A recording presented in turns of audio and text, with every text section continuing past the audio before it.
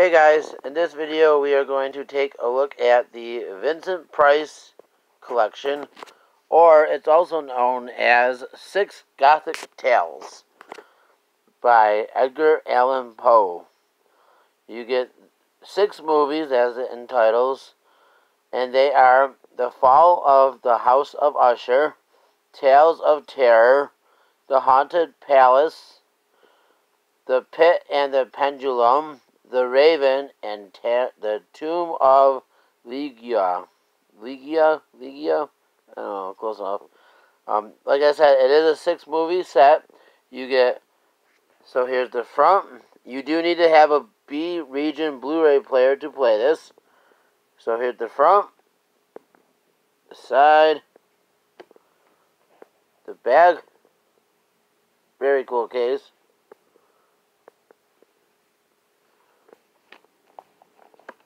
So there's the fall of the House of Usher. Fall of the House of Usher. Lots of special features. So here's the case, or the, the disc looks like for that one. And then you get the pit and the pendulum. As well as an alternative artwork for... It would have been nice if each movie had its own disc. I would have preferred that, but what are you going to do? Next, you get Tales of Terror.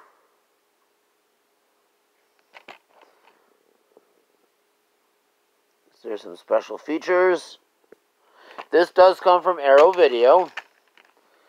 And like I said, Arrow Video does a really good job with their features.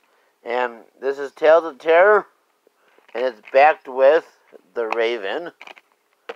And there's the cover for The Raven, which that's pretty cool too. And like I said, these are all um, Edgar Allan Poe inspired movies. And then the last set we have is The Haunted Palace. Special feature wise. Like I said, it would have been nicer if each disc um, did the special features for the movie. And this is backed with the Tomb of or Ligeia. I'm probably mispronouncing it wrong, but that's okay. And there's the cover for that. Like I said, you do need to have a region player, a region Blu-ray player to play this. But yeah, a very cool, very cool six movie box set.